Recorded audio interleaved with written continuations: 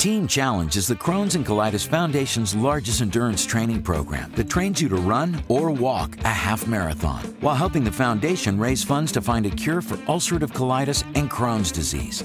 Money raised goes directly to patient support programs that impacts over 1.4 million children and adult patients nationwide. The race was fantastic. All the training, the teamwork, everything paid off, and it was just an all around amazing experience.